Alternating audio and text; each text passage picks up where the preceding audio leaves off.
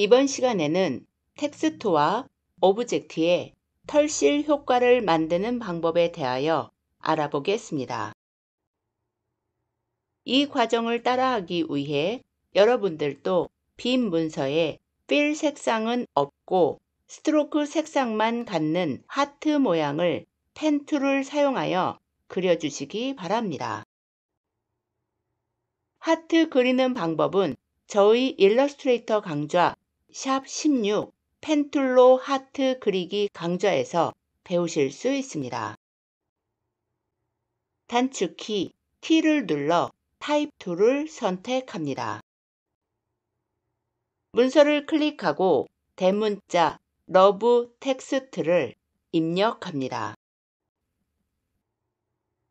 입력한 텍스트를 하이라이트해 선택합니다. 단축키 Ctrl T를 눌러 캐릭터 패널을 엽니다. 폰트는 Arial을 선택하고 스타일은 black을 선택합니다. 폰트 사이즈 입력란에 400포인트를 입력한 후 엔터를 누릅니다. 글자 모양에 3D 털실 효과를 적용하게 되면 부피가 늘어나기 때문에 글자의 간격을 넓혀 주어야 합니다. Set the tracking for the selected characters 입력란에 280을 입력한 후 엔터를 눌러 글자 간격을 넓게 만듭니다. 캐릭터 패널의 오른쪽 상단에서 X 버튼을 클릭해 패널을 닫습니다. selection tool을 선택합니다. 완성된 텍스트를 문서 하단 중앙에 배치합니다.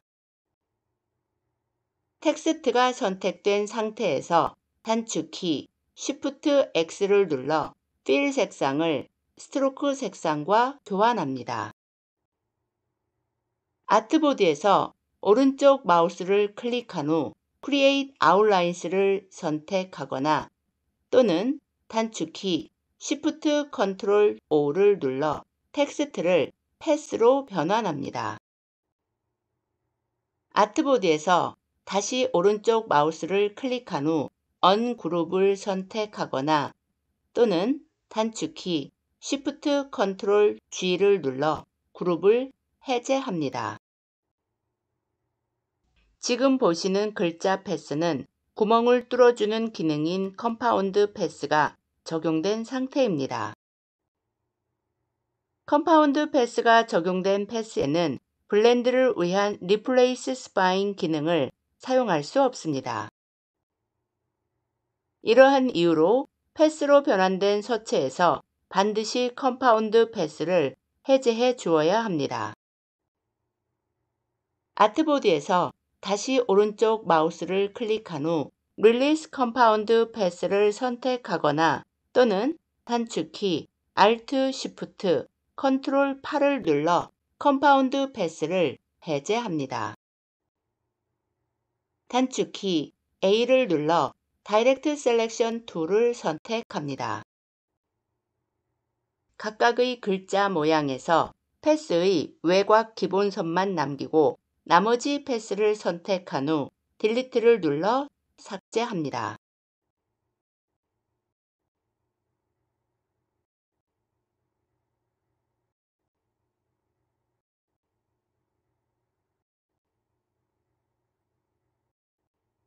라인 세그먼트 툴을 선택한 후 Shift를 누른 상태로 이의 중앙에 가로선을 그립니다. 단축키 A를 눌러 direct selection tool을 선택합니다. E의 중간 path를 선택한 후 delete를 눌러 삭제합니다. 단축키 더하기를 눌러 Add Anchor Point tool을 선택합니다. V path의 하단 중앙을 클릭해 앵커 포인트를 추가합니다. 단축키 빼기를 눌러 Delete Anchor Point tool을 선택합니다. V path의 하단에서 좌우 앵커 포인트를 클릭해 삭제합니다. 하트와 O는 path가 연결된 상태입니다. 이렇게 연결된 패스에 털실 효과를 적용하게 되면 path의 일부분에 효과를 갖지 않는 문제가 생기기 때문에 path의 연결을 반드시 끊어주어야 합니다. 단축키 C를 눌러 Scissors tool을 선택합니다. 하트 모양의 상단 중앙에 있는 앵커 포인트를 클릭해 패스의 연결을 끊어줍니다. 단축키 컨트롤을 누른 상태로 O 모양 패스를 선택한 후 오른쪽 중앙에 있는 앵커 포인트를 클릭하여 패스를 끊어줍니다. 털실 효과를 적용하기 위한 기본적인 패스 준비가 완성되었습니다. 지금부터 blend 형태를 만들고 이 path들의 모양을 따라 blend 형태를 교체시켜 보겠습니다. 단축키 L을 눌러 Ellipse tool을 선택한 후 artboard를 클릭합니다.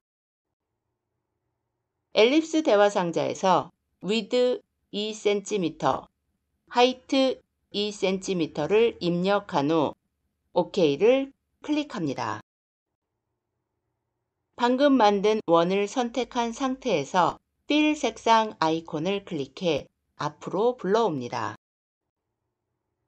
단축키 Shift X를 눌러 fill 색상을 stroke 색상과 교환합니다. gradient 패널 tab을 클릭한 후 gradient 막대 왼쪽 하단을 클릭합니다. 왼쪽 color stop 아이콘을 클릭합니다. 컬러 패널에서 메뉴 버튼을 클릭한 후 CMYK를 선택합니다. 컬러 패널에서 C 0%, M 30%, Y 0%, K 0%를 입력하고 enter를 눌러 연분홍색을 color stop에 추가합니다. gradient 패널의 gradient 막대에서 오른쪽 color stop 아이콘을 클릭합니다. 컬러 패널에서 메뉴 버튼을 클릭한 후 CMYK를 선택합니다. 컬러 패널에서 C 0%, M 90%, Y 0%, K 0%를 입력하고 엔터를 눌러 진분홍색을 color stop에 추가합니다. gradient 패널에서 angle에 마이너스 90도를 입력한 후 enter를 누릅니다. 단축키 Alt Shift를 누른 상태로 gradient 색상을 적용한 원을 아래로 드래그해 복제합니다. 방금 복제한 원을 선택한 상태로 gradient 막대에서 왼쪽 color stop 아이콘을 클릭합니다. 컬러 패널에서 C 0%, M 100%, Y 100%, K 0%를 입력하고 enter를 눌러 빨간색을 color stop에 추가합니다. gradient 패널의 gradient 막대에서 오른쪽 color stop 아이콘을 클릭합니다. 컬러 패널에서 C 30%, M 100%, Y 100%, K 50%를 입력하고 enter를 눌러 어두운 빨간색을 color stop에 추가합니다. Blend tool을 더블 클릭합니다. Blend Options 대화 상자에서 Spacing은 Specified Distance를 선택하고 0.15cm를 입력합니다. Orientation은 Align to Page가 선택된 상태에서 OK를 클릭합니다. 상단 원을 클릭한 후 하단 원을 클릭해 blend를 적용합니다. 단축키 V를 눌러 Selection tool을 선택합니다. blend 막대를 선택한 후 단축키 Alt Shift를 누른 상태로 드래그해 복제합니다. 단축키 Ctrl D를 4번 눌러 4개 더 복제합니다.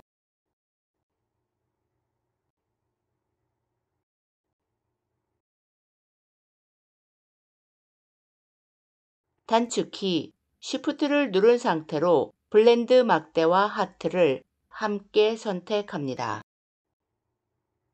Object, Blend, Replace Spine 메뉴를 선택합니다. 단축키 Shift를 누른 상태로 blend 막대와 L을 함께 선택합니다. Object, Blend, Replace Spine 메뉴를 선택합니다. 단축키 Shift를 누른 상태로 blend 막대와 O를 함께 선택합니다. Object, Blend, Replace Spine 메뉴를 선택합니다. 단축키 Shift를 누른 상태로 blend 막대와 V를 함께 선택합니다. Object, Blend, Replace Spine 메뉴를 선택합니다. 단축키 Shift를 누른 상태로 Blend 막대와 E를 함께 선택합니다. Object, Blend, Replace Spine 메뉴를 선택합니다. 단축키 Shift를 누른 상태로 Blend 막대와 E의 중간 path를 함께 선택합니다. Object, Blend, Replace Spine 메뉴를 선택합니다. 하트를 선택합니다. Effect, Distort and Transform, Roughen 메뉴를 선택합니다. Roughen 대화 상자에서 Preview를 체크합니다. 상대값인 Relative를 선택하고 코너를 선택합니다. 사이즈 80%, 디테일 100을 입력한 후 OK를 클릭합니다. LOVE를 함께 선택합니다. Effect, Apply Roughen 메뉴를 선택하거나 또는 단축키 Shift Ctrl E를 눌러 동일한 Roughen 효과를 적용합니다. 단축키 Z를 눌러 Zoom Tool을 선택한 후 완성된 object를 확대합니다. 보송보송하고 풍성하며 음영이 사실적으로 표현된 3D 털실 효과를 볼 수 있습니다.